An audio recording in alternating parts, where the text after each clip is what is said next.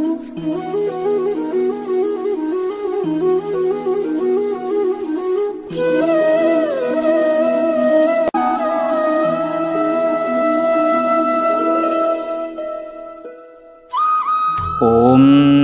ശ്രീ ഗുരുവായൂരപ്പ ശരണം.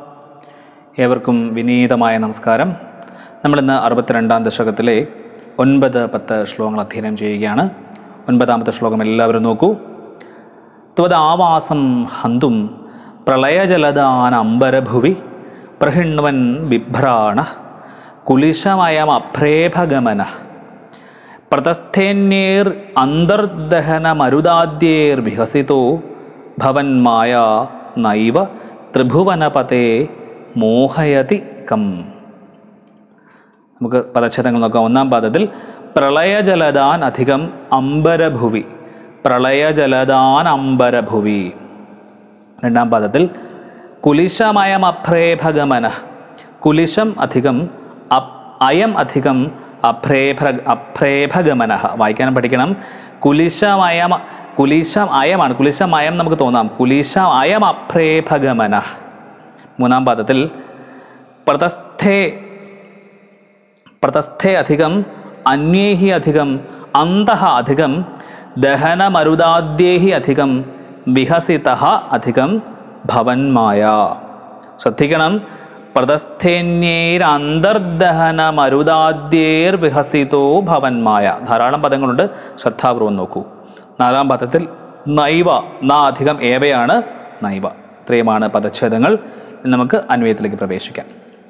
അയം ത്വദാവാസം ഹന്തും അംബരഭുവി പ്രളയജലദാൻ പ്രഹിണ്വൻ കുലിശം ബിഭ്രാണ അഭ്രേഭഗമന അന്യൈ ദഹനമരുദാദ്യൈ അന്ത വിഹസിത പ്രതസ്ഥേ ത്രിഭുവനപതി ഭവന്മായ കം ന മോഹയതി ഏവ. അയം അയെന്ന് പറഞ്ഞാൽ ആ ഈ എന്നാണ് ഇവിടെ ഈ ഇന്ദ്രൻ. അവിടത്തേക്ക് എതിരായി തിരിഞ്ഞ ഇന്ദ്രൻ എന്ന് തന്നെ ശ്രദ്ധിക്കണം. അതുപോലെ ആവാസം അങ്ങയുടെ വാസം അങ്ങയുടെ ആവാസഭൂമിയായ ഗോകുലത്തെ ഹന്തും നശിപ്പിക്കുന്നതിന് അമ്പരഭുവി അമ്പരദേശത്ത് ആകാര ആകാശദേശത്ത് പ്രളയജലദാൻ പ്രളയകാലത്തെ മേഘങ്ങളെ പ്രഹിണ്വൻ നിയോഗിക്കുന്നവനായിട്ട് കുലിശം കുലിശം വജ്രായുധമാണ്.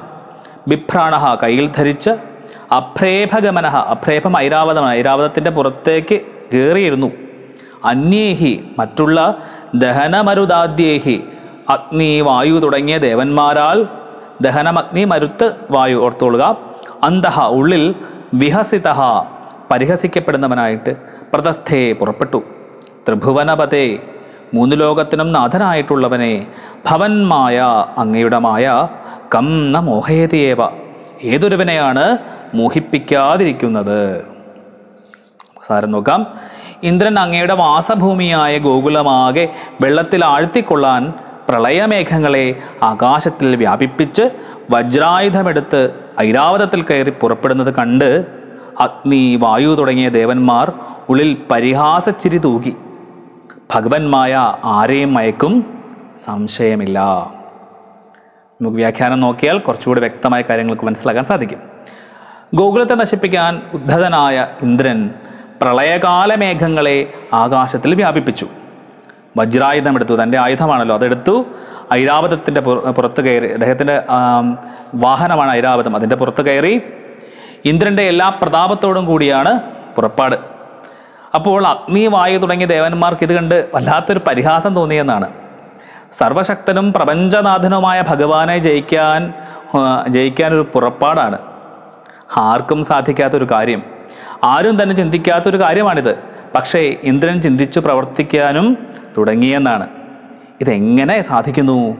അതും ഭഗവാന്റെ ഒരു മായ തന്നെയാണ്.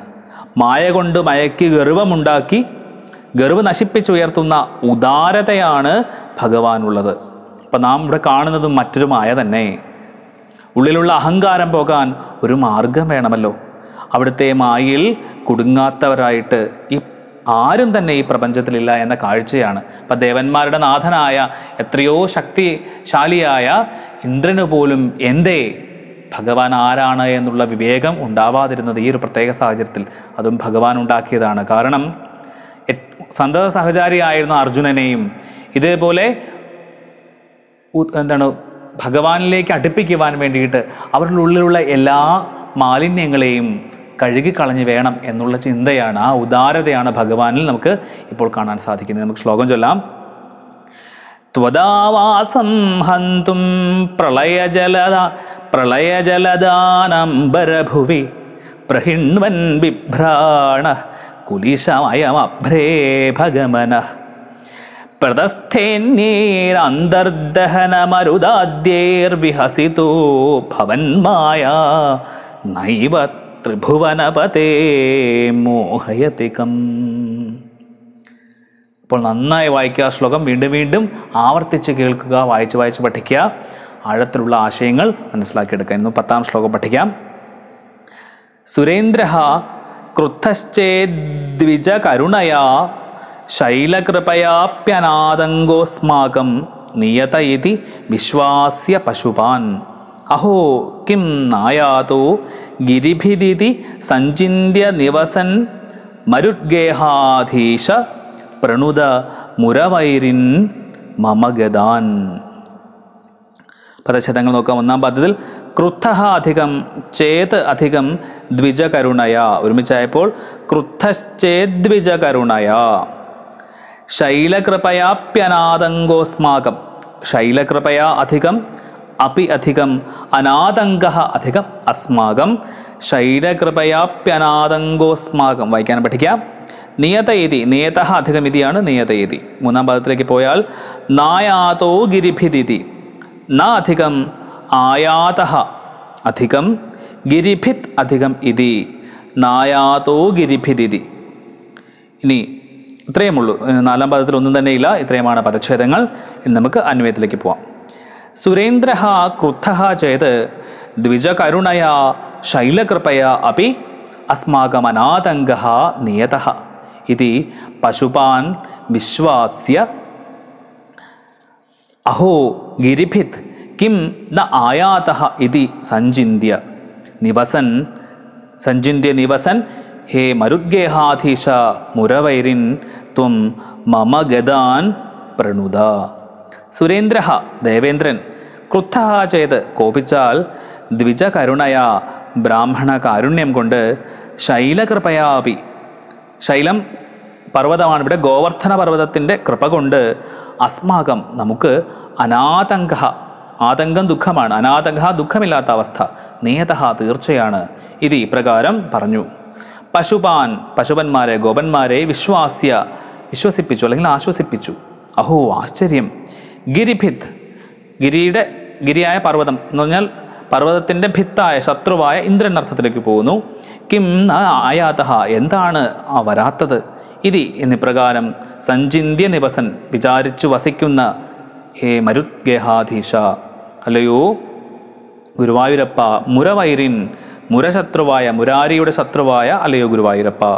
ത്വം അങ്ങ് മമ ഗതാൻ പ്രണുത എന്റെ രോഗങ്ങളെ ഗതാൻ രോഗങ്ങളെ പ്രണുത നശിപ്പിക്കട്ടെ. സാരം ഇങ്ങനെയാണ്. ബ്രാഹ്മണരുടെയും ഗോവർദ്ധനത്തിന്റെയും കൃപയുള്ളിടത്തോളം കാലം ഇന്ദ്രൻ ഒന്നും ചെയ്യാൻ പോകുന്നില്ല. ഭയപ്പെടേണ്ട എന്ന് പറഞ്ഞ് ഗോപന്മാരെ ആശ്വസിപ്പിച്ച ഭഗവാൻ എന്താണ് ഇന്ദ്രൻ വരാത്തതെന്ന് ചിന്തിച്ചിരുന്നു. അങ്ങനെയുള്ള ഭഗവാൻ എന്റെ ആമയങ്ങളെ മാറ്റി രക്ഷിക്കട്ടെ. വ്യാഖ്യാനത്തിലൂടെ വ്യക്തമാകും പല കാര്യങ്ങളും. ഇന്ദ്രൻ വന്നാലും ബ്രാഹ്മണരുടെയും ഗോവർദ്ധനത്തിന്റെയും കൃപ കൊണ്ട് അവർക്ക് ആപത്തൊന്നും ഉണ്ടാകുകയില്ല എന്ന് പറഞ്ഞ് കൃഷ്ണൻ ഗോപകുലത്തെ സമാധാനപ്പെടുത്തി. എന്തുകൊണ്ടാണ് ഇന്ദ്രൻ വരാഞ്ഞതെന്ന് കരുതി കൃഷ്ണൻ ഇരുന്നു. കൃഷ്ണൻ ഗുരുവായൂരപ്പനാകുന്നത് ഗുരുവായൂർ വസിക്കുന്നത് കൊണ്ടോ ഗുരുവും വായുവും കൂടി ഗുരുവായൂർ കൃഷ്ണപ്രതിഷ്ഠ നടത്തിയത് കൊണ്ടോ മാത്രമല്ല ഗുരുവായൂരപ്പന്റെ വ്യംഗ്യാർത്ഥം അറിഞ്ഞിരിക്കേണ്ടതായിട്ടുണ്ട്. അപ്പോൾ ഈ രണ്ട് കാരണങ്ങളാണ് നമുക്കറിയാമെങ്കിൽ കൂടിയും എന്താണ് യഥാർത്ഥത്തിൽ ഒന്നുകൂടി നമ്മൾ തിരിച്ചറിയണം. ഗുരുവിന് ആചാര്യൻ പിതാവ് മാതാവ് ജ്യേഷ്ഠൻ ഭർത്താവ് മാതൃകാപുരുഷൻ ഉത്തമൻ അജ്ഞത അകറ്റുന്നവൻ ഭാരമുള്ള എന്നൊക്കെ പല അർത്ഥങ്ങളുണ്ട്. ഏതായാലും അജ്ഞതകൾ അജ്ഞത കളയുന്നവനാണ് ഗുരു. അത് പ്രത്യേകം നമുക്ക് ഏവർക്കും അറിയാം. വായു എന്നാൽ കാറ്റ് സദാഗതിയാണ്. നഭസ്വാനാണ്. ആശുകൻ ജഗത്പ്രാണൻ എന്നീ പര്യായങ്ങൾ വളരെ ശ്രദ്ധേയങ്ങളാണ് വായുവിന്. സദാഗതി എന്ന് പറഞ്ഞാൽ എപ്പോഴും ചലിച്ചുകൊണ്ടിരിക്കുന്നത് എന്ന അർത്ഥത്തിൽ ഊർജതരംഗ സ്വരൂപം അതിസൂക്ഷ്മ ചലനമായ ഓങ്കാര ശബ്ദത്തെയും കുറിക്കാമെന്നാണ്. ജഗത്പ്രാണനാണല്ലോ എല്ലാത്തിനെയും ജീവത്താക്കുന്നത് പ്രവർത്തിപ്പിക്കുന്നത്. നഭസ്വാൻ എന്നാൽ നഭസ്സോടു കൂടിയവൻ ആകാശമെന്ന അനന്തത പന്ഥാവായിട്ടുള്ളവനാണ് നഭസ്വാൻ. പെട്ടെന്ന് പായുന്നവൻ ഉണ്ടെന്നും ഇല്ലെന്നും തോന്നത്തക്ക രീതിയിൽ പ്രത്യക്ഷവും അപ്രത്യക്ഷവുമാകുന്നവൻ. എത്ര അർത്ഥങ്ങളാണ്? ഇനി ഗുരുശബ്ദത്തിന്റെയും വായുശബ്ദത്തിന്റെയും ഗൂഢാർത്ഥം ചെന്ന് നിൽക്കുന്നത് അജ്ഞതയകറ്റുന്ന നിത്യഭാസുരവും ജീവദായകവും പ്രപഞ്ച നിയാമകവുമായ ശക്തിയുള്ള ബ്രഹ്മത്തിലും സർവേശ്വരനിലുമാണ്. അങ്ങനെ ഗുരുവായൂരപ്പനാണ് ഭഗവാൻ വിഷ്ണു. ഗുരുവും വായുവും പ്രതിഷ്ഠിക്കാതെ തന്നെ ഭഗവാൻ കൃഷ്ണൻ ഗുരുവായൂരപ്പനാണ്. ഇത്ര മനോഹരമായ ഒരു ഒരു ഗുരുവായൂരപ്പ സങ്കല്പമാണല്ലേ നമുക്ക് ചിരപരിചിതമായ അർത്ഥം നമ്മൾ പറഞ്ഞു കഴിഞ്ഞു. പക്ഷേ ഇതൊന്നുമില്ലെങ്കിൽ കൂടിയും ഗുരുവായൂരപ്പൻ എന്നത് സാക്ഷാൽ കൃഷ്ണനാണ് എന്ന് നാം തിരിച്ചറിയേണ്ടതായിട്ടുണ്ട്. അങ്ങനെ നമ്മൾ ഭഗവാനെ കാണുമ്പോൾ അഥവാ ഗുരുവായൂരപ്പന്റെ സവിശേഷത മനസ്സിലാക്കുമ്പോഴാണ് ഹന്ത ഭാഗ്യം ജനാനാമെന്ന് പറയേണ്ടി വരുന്നു. മെൽപ്പത്തൂർ വെറുതെയല്ല ഈ ഗുരുവായൂരപ്പനെ ഇത്രയധികം വിശേഷിപ്പിക്കുവാനും ആരാധിക്കുവാനുമുള്ള കാരണം എന്ന് പറയുന്നത്. നമുക്കും ഇങ്ങനെ ആരാധിക്കുവാൻ മാത്രമേ സാധിക്കുകയുള്ളൂ. നമുക്കിങ്ങനെ ശ്ലോകം ചൊല്ലാം. സുരേന്ദ്രക്രുദ്ധശ്ചേദ്വിജകരുണയാ ശൈലകൃപയാപ്യനാദങ്കോസ്മാകം നിയതയതി വിശ്വാസ്യ പശുപാൻ അഹോ കിം നായാതോ ഗിരിഭിരിതി സഞ്ചിന്യ നിവസൻ മരുദ്ഗേഹാധീശ പ്രണുതമുരവൈരിൻ മമഗദാൻ നല്ലതുപോലെ ശ്ലോകങ്ങൾ ആവർത്തിക്കുക. രണ്ട് തവണ ചൊല്ലാത്തത് നമ്മുടെ വീഡിയോയുടെ ദൈർഘ്യം കൂടുന്നത് എനിക്ക് ബുദ്ധിമുട്ടുണ്ടാകുന്നതുകൊണ്ട് മാത്രമാണ്. വീണ്ടും വീണ്ടും ആവർത്തിച്ച് കേൾക്കാൻ നമുക്ക് അവസരമാണല്ലോ ഇതിൽ കൂടി. അതുകൊണ്ട് വീണ്ടും കേൾക്കുക വീണ്ടും വീണ്ടും ആശയം മനസ്സിലാക്കുക. സാക്ഷാൽ ഗുരുവായൂരപ്പൻ. കൃഷ്ണൻ തന്നെയാണ് ആ ഭഗവാൻ നമ്മളെ ഏവരെയും നമ്മളുടെ ഏവരുടെയും ആപത്തുക്കളെ നമ്മളുടെ ഏവരുടെയും ദുഃഖങ്ങളെയൊക്കെ നശിപ്പിച്ച് നമ്മുടെ ഉള്ളിൽ നിറഞ്ഞു വിളങ്ങട്ടെ. ശുഭദിനം. നമസ്തേ.